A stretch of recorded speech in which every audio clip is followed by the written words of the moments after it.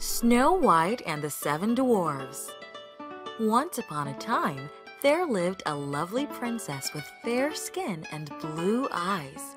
She was so fair that she was named Snow White. Her mother died when Snow White was a baby. Soon after, the king married a new woman who was beautiful, but as well as proud and cruel. She had studied dark magic and owned a magic mirror of which she would daily ask, Mirror, mirror on the wall, who is the fairest of them all? And the magic mirror would say, You are, your majesty. But one day the mirror replied, Snow White, Snow White is the fairest of them all. The wicked queen was very angry and jealous of Snow White. She ordered her huntsman to take Snow White to the forest and kill her. I want you to bring back her heart, she ordered. The poor huntsman took Snow White into the forest, but found himself unable to kill the girl. Instead, he let her go and brought the queen the heart of a wild boar. Snow White wandered the forest all night crying. When it was daylight, she came to a tiny cottage and went inside. There was nobody there, but she found seven plates on the table and seven tiny beds in the bedroom. Because she was so hungry, Snow White ate a few vegetables and a little bread from each little plate, and from each cup she drank a little bit of milk. Afterward, because she was so tired, she lay down on one of the little beds and fell fast asleep. After dark, the owners of the house returned home. They were the seven dwarfs who mined for gold in the mountains. As soon as they arrived home, they saw that someone had been there, for not everything was in the same order as they had left it. The first one said, Who has been sitting in my chair? The second one, Who has been eating from my plate? The third one, Who has been eating my bread? The fourth one, Who has been eating my vegetables? The fifth one, Who has been eating with my fork? The sixth one, Who has been drinking from my cup? But the seventh one, looking at his bed, found Snow White lying there asleep. The seven dwarfs all came running up, and they cried out with amazement. They fetched their seven candles and shone the light on Snow White. Oh, good heaven, they cried, this child is beautiful. When she woke up and told them her story, the seven dwarfs asked her to stay with them. When the dwarfs were away, Snow White would make delicious meals for them. The dwarfs loved her and cared for her. Every morning when they left the house, they instructed her never to open the door to strangers. Meanwhile, in the palace, the wicked queen asked, Mirror, mirror on the wall, who is the fairest of them all? The mirror replied, Snow White is the fairest of them all. She lives with the seven dwarfs in the woods. The wicked stepmother was furious. She was actually a witch who knew how to make magic potions. She now made a poisonous potion and dipped a shiny red apple into it. Then she disguised herself as an old peasant woman and went to the woods with the apple. She knocked on the cottage door and said, Pretty little child, let me in. Look what I have for you. Snow White said, I am so sorry, old lady. I cannot let you in. The seven dwarfs have told me not to talk to strangers. But then Snow White saw the shiny red apple and opened the door. The wicked witch offered her the apple, and when she took a bite, poor Snow White fell into a deep sleep. The wicked stepmother went back to the palace and asked the mirror, Mirror, mirror on the wall, who is the fairest of them all? The mirror replied, You are, your majesty, and she was very happy. When the seven dwarfs came home to find Snow White lying on the floor, they were very upset. They cried all night and then built a glass coffin for Snow White. They kept the coffin in front of the cottage. One day, Prince Charming was going past the cottage and he saw Snow White lying in the coffin. He said to the dwarfs, My, my, she is so beautiful. I would like to kiss her. And he did. Immediately, Snow White opened her eyes. She was alive again. The prince and the seven dwarfs were very happy. Prince Charming married Snow White and took her to his palace and lived happily ever after. The end. The Princess and the Pea There once was a prince, and he wanted a princess. But then she must be a real princess. He traveled right around the world to find one. But there was always something wrong. There were plenty of princesses, but whether they were real princesses, he had great difficulty in discovering. There was always something that was not quite right about them. So at last, he had come home again, and he was very sad because he wanted a real princess so badly. One evening, there was a terrible storm. It thundered and lightened, and the rain poured down in torrents. Indeed, it was a fearful night.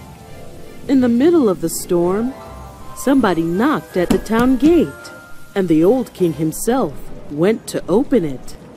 It was a princess who stood outside, but she was in a terrible state from the rain and the storm.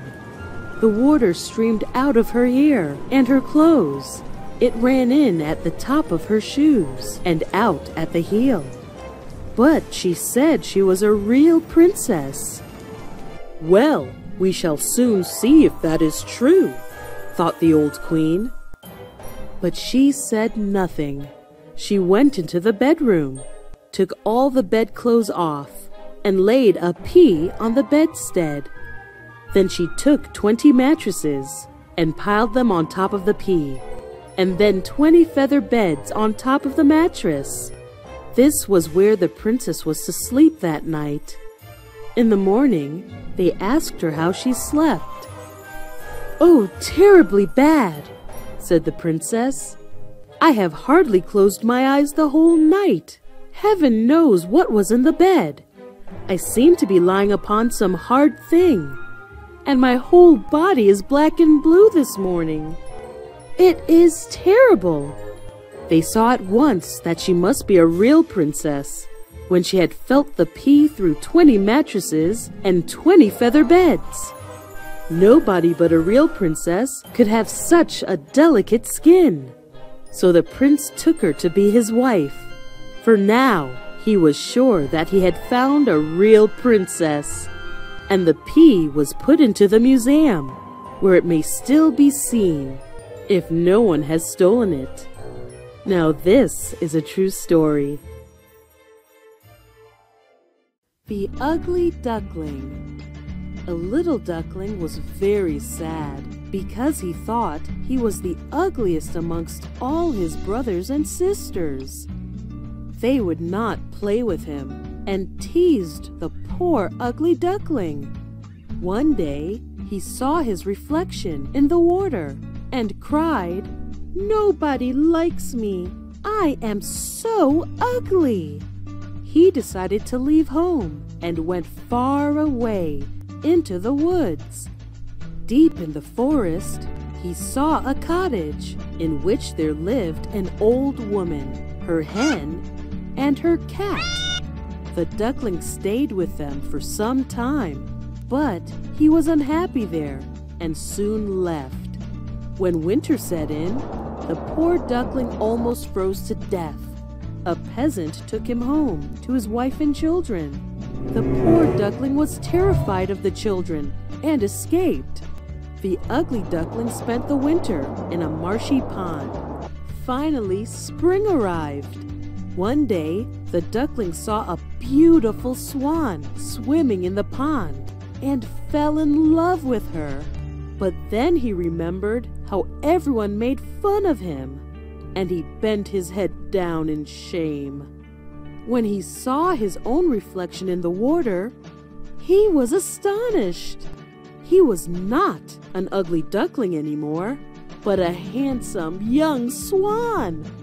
Now he knew why he looked so different from his brothers and sisters. They were ducklings, but I was a baby swan, he said to himself. He married the beautiful swan and lived happily ever after. The End The Three Little Pigs Once upon a time, there were three little pigs, and the time came for them to seek their fortunes and build their houses. The first little pig built himself a house of straw. The middle brother decided to build a house of sticks. It wasn't either a very strong house, but the third pig, the oldest, decided to build a house of bricks. He did not mind hard work because he wanted a strong house, because he knew that in the woods nearby there was a wolf who liked to catch little pigs and eat them up. When the three houses were finished, the three little pigs were happy dancing and singing. Who is scared of Furious Wolf? Furious Wolf, Furious Wolf, who is scared of Furious Wolf? Just as the first little pig reached his door, out of the woods popped up a big, bad wolf. The little pig squealed with fright and slammed the door. Little pig, little pig, let me come in, cried the wolf. Not by the hair of my chinny chin chin, said the little pig. Then I'll huff, and I'll puff, and I'll blow your house in, roared the wolf. and he blew the little straw house. Away raced the little pig to his brother's house of sticks. The wolf was really angry, so went behind the youngest pig, the house of sticks, where the pigs were singing, who is scared of Furious Wolf? Furious Wolf, Furious Wolf, who is scared of Furious Wolf? Suddenly, the wolf roared. Open the door! Let me come in! No, we won't, said the pigs. Then I'll huff, and I'll puff, and I'll blow down your house, roared the wolf, and he blew down the little house of sticks. The two little pigs raced away to his big brother's house of bricks and started to sing, Who is scared of Furious Wolf? Furious Wolf, Furious Wolf, who is scared of Furious Wolf? This made the big wolf perfectly furious. Open the door, little pigs. Let me come in. No, we won't. Then I'll huff, and I'll puff, and I'll blow down your house. But he couldn't blow down the little house of bricks. He decided to climb and get in through the chimney.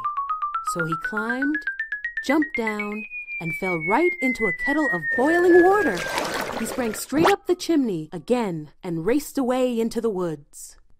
The three little pigs never saw him again and spent their time in the strong brick house, dancing and singing. Who is scared of Furious Wolf? Furious Wolf, Furious Wolf, who is scared of Furious Wolf? Furious Wolf! The End. The Story of Goldilocks and the Three Bears. Once upon a time, there was a little girl named Goldilocks. She went for a walk in the forest. Pretty soon, she came upon a house. She knocked, and when no one answered, she walked right in. At the table in the kitchen, there were three bowls of porridge. Goldilocks was hungry. She tasted the porridge from the first bowl.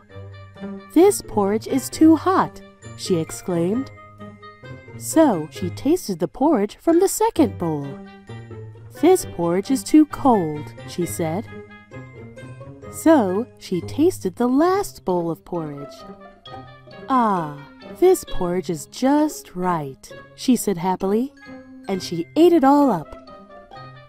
After she'd eaten the three bears' breakfasts, she decided she was feeling a little tired.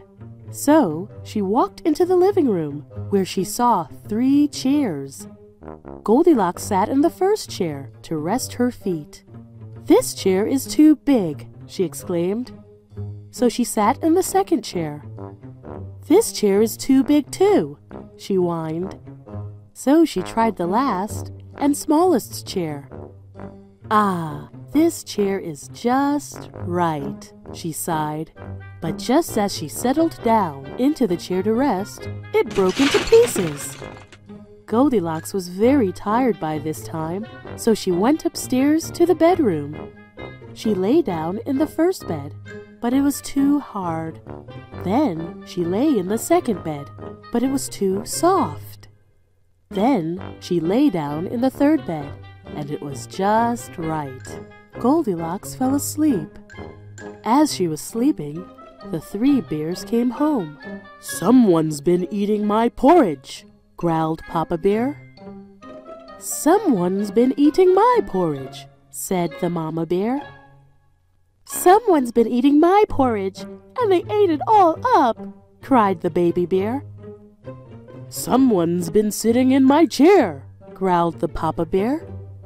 Someone's been sitting in my chair, said the Mama Bear. Someone's been sitting in my chair, and they've broken it all to pieces, cried the baby bear. They decided to look around some more, and when they got upstairs to the bedroom, Papa Bear growled, Someone's been sleeping in my bed. Someone's been sleeping in my bed too, said the Mama Bear. Someone's been sleeping in my bed, and she's still there, exclaimed Baby Bear.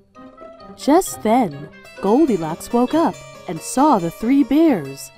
She screamed, Help! And she jumped up and ran out of the room. Goldilocks ran down the stairs, opened the door, and ran away into the forest. And she never returned to the home of the three bears. The end. Little Red Riding Hood. One day, Little Red Riding Hood's mother said to her, Take this basket of goodies to your grandma's cottage, but don't talk to strangers on the way. Promising not to, Little Red Riding Hood skipped off. On her way, she met the big, bad wolf, who asked, Where are you going, little girl? To my grandma's, Mr. Wolf, she answered. The big bad wolf then ran to her grandmother's cottage, much before Little Red Riding Hood, and knocked on the door. When Grandma opened the door, he locked her up in the cupboard. The wicked wolf then wore Grandma's clothes and lay on her bed, waiting for Little Red Riding Hood. When Little Red Riding Hood reached the cottage, she entered and went to Grandma's bedside. My, what big eyes you have, Grandma, she said in surprise. All the better to see you with, my dear, replied the wolf. My, what big ears you have, Grandma, said Little Red Riding Hood. All the better to hear you with, my dear, said the wolf. What big teeth you have, Grandma, said Little Red Riding Hood. All the better to eat you with, growled the wolf, pouncing on her. Little Red Riding Hood screamed, and the woodcutters in the forest came running into the cottage.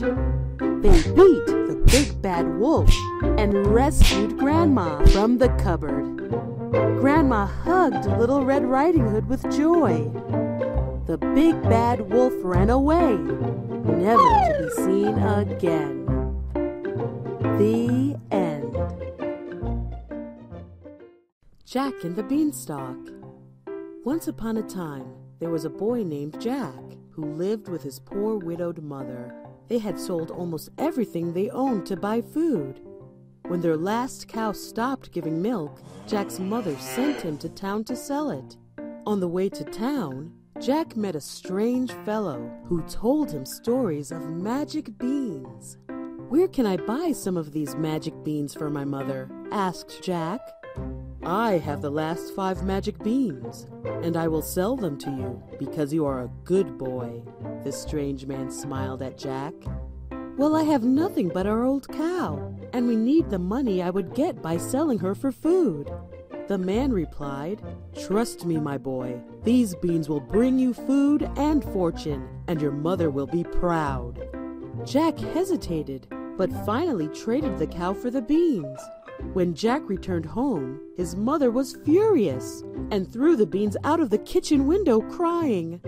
Jack went to bed that night, sad and hungry. He woke the next morning to find a huge beanstalk growing in the garden. The beans really are magic, he cried.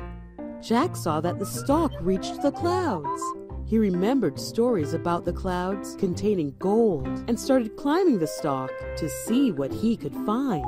He climbed and climbed.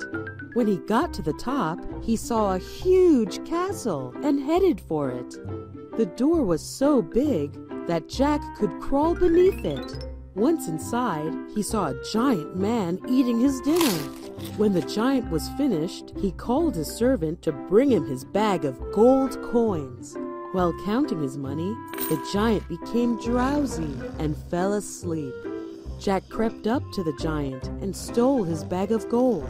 He struggled down the beanstalk with his money, and when he got to the bottom, he called for his mother.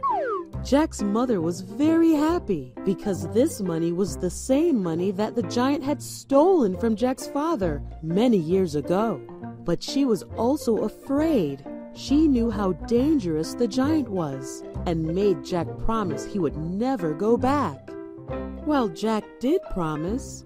After a while, the money began to run out. Jack began to wonder if he would find anything else in the castle. Once again, Jack decided he would go back up the beanstalk and back to the castle. Once again, he reached the castle and climbed under the castle door. And once again, he found the giant eating dinner at his table. When he was finished this time, however, the giant called for his magic hen. Jack was amazed when he saw the hen lay an egg of pure gold. While the giant was watching the hen, he again became drowsy and fell asleep. Jack crept silently to the table and grabbed the hen. When he returned home, his mother was very angry that Jack had gone back to the castle. She grabbed Jack's axe, intent on cutting the beanstalk down. Jack begged her not to and showed her how the hen could lay golden eggs.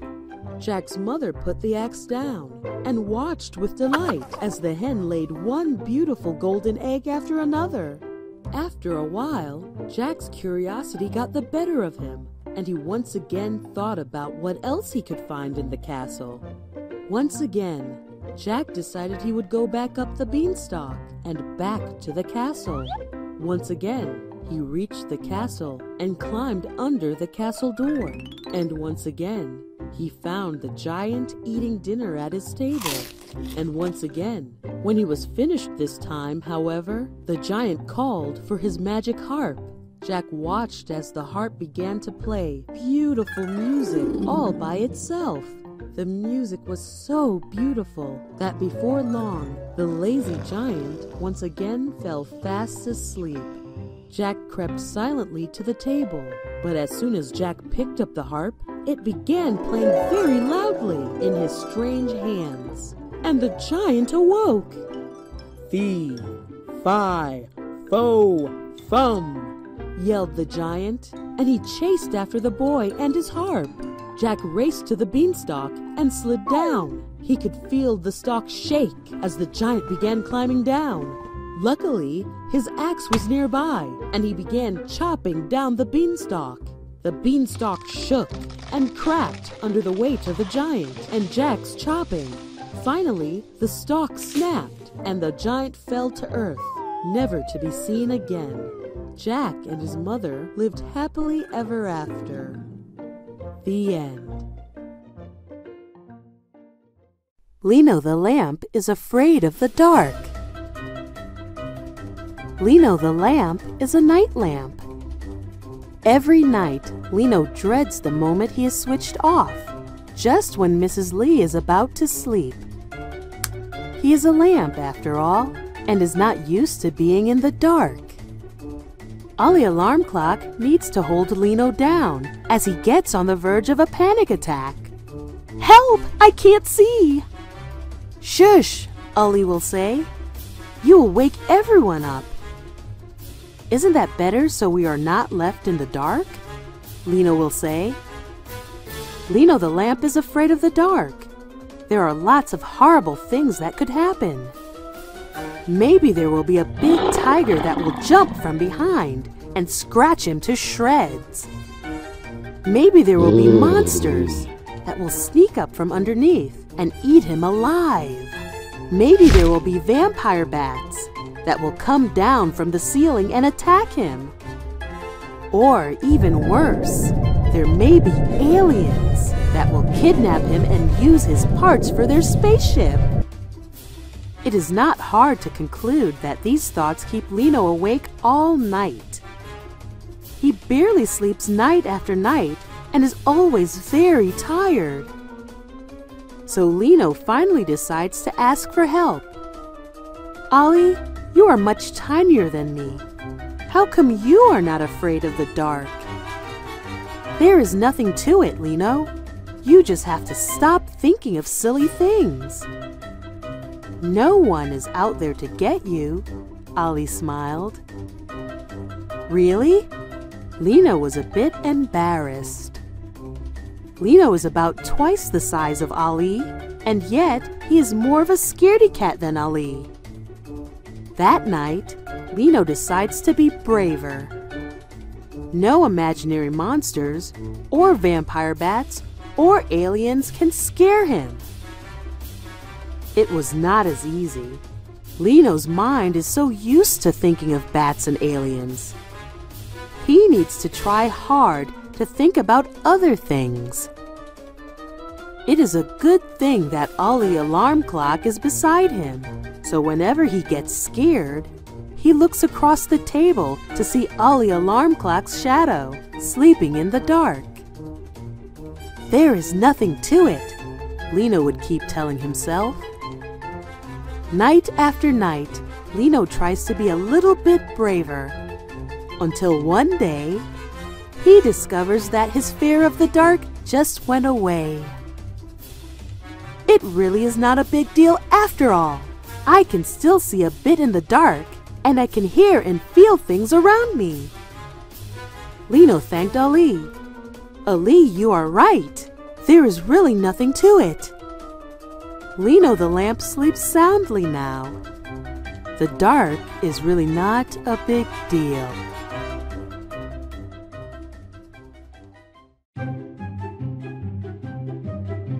Kelly the Electric Kettle Kelly is the newest addition to the Lee kitchen. She is a great electric kettle. She boils a kettle full of water in 20 seconds flat. A real tough task to do. She is looking forward to meeting her new friends in the kitchen. It is a bit puzzling, though, that Kelly does not get a very warm welcome when she lands on the kitchen worktop. The spoon and fork families, who are all silver, giggle when they pass her by. the ladles and spatulas, who are all black, look at her from head to toe in disbelief. The copper pots and pans try to avoid her as best they can. The tall crystal wine glasses look at her like she came out of a horror movie. Even the green sink sponge looks at her disapprovingly. Everything about Kelly is as you would expect a kettle to be, except for one small detail. She is neon pink from top to toe a bright, blinding sort of pink. All the kitchen things are thinking the same thing. A kettle that's pink can never be a serious kettle. Kelly is fuming mad with whoever, trying to be cool designer, made her pink. Kettles are usually white, black, or silver. Whoever heard of a pink kettle? Doesn't he know how hard it would be to fit in a kitchen that is mostly in hues of gray, silver, black, crystal, and some green? Kelly's social life is ruined. One day, the power fails in the Lee household. The whole kitchen is pitch dark, except for one thing. Kelly has a slight glow around her because of her neon pink coating. So, to see what is happening around them, all the kitchen things have no choice but to huddle around Kelly. Polite conversation is a natural result when you are all huddled so closely. The kitchen crew are not a bad bunch after all, just a bit wary of Pink. Hellos and how do you do's start being said. Kelly, being the charming person that she is, gets some nice conversation going. She knows what kitchen crew members like to talk about being scrubbed too vigorously, being subjected to extreme heat, being attacked by pets and children, among other things. When the power comes back on, it does not take the kitchen crew long to realize that apart from being nice, Kelly also does a cracking job of boiling water, 20 seconds flat, even if she is pink. Being pink does not make Kelly a less serious kettle after all. She's as good as any kettle or kitchen thing, but just pink.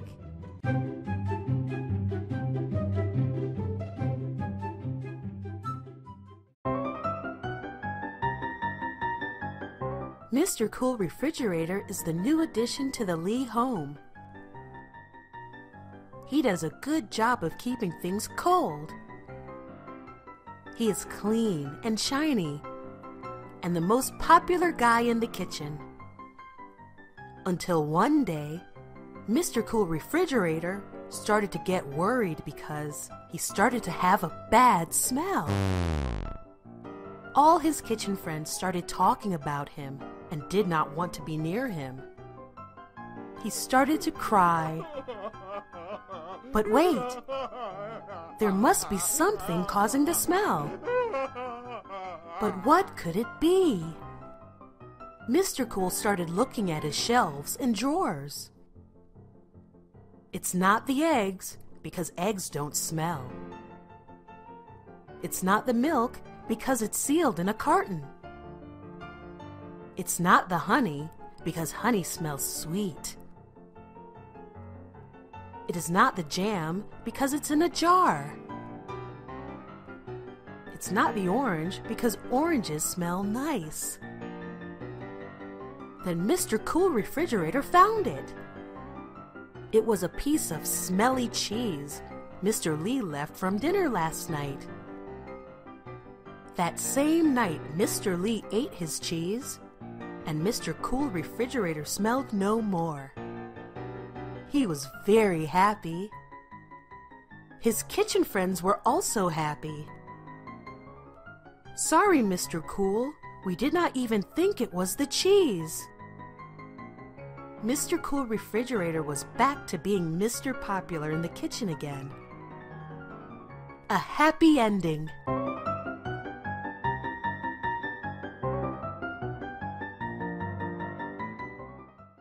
Irma Inflatable Bed gets a beating. It is a special occasion when Irma Inflatable Bed is taken out and inflated. There must be a slumber party or some unexpected guest staying over. Irma is excited. Instead of sleeping in her cardboard box, she gets to stretch and sleep with a fuzzy blanket around her. But Irma doesn't know who is sleeping over. It is Dennis, Baby Lee's cousin. He is a little bit more active than any normal kid. Before anyone could blink an eye, excited Dennis was already jumping up and down on Irma with all of his might. His heels were digging into Irma's tummy. His elbows were ramming into Irma's sides. Then comes his shoulders. Dennis clearly enjoys the feeling of bouncing up and down an inflatable bed. While Dennis was having a good time, you can imagine how Irma must have felt. Irma never met such a terrible kid. Tummy and back pain were the order of the day. No more false dreams of peaceful and warm fuzzy evenings. Irma can only keep mum until Dennis gets tired of kicking and stomping and finally falls asleep. It is going to be a dreadful weekend. The next morning, Irma was barely awake when the feet and elbow action started again.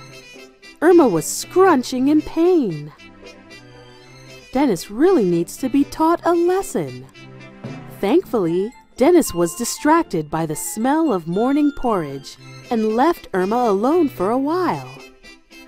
As soon as breakfast was over, Dennis jumped back on Irma with all his might. Bam! A loud thud was heard in the house. No more bounciness this time. What Dennis doesn't know is Irma deflated herself a bit while he was having his morning porridge. Dennis's bum landed smack on the hard stone floor. Ouch! Dennis started to cry. Mrs. Lee came to comfort Dennis. Now, now, Dennis, you shouldn't be jumping up and down on the airbed.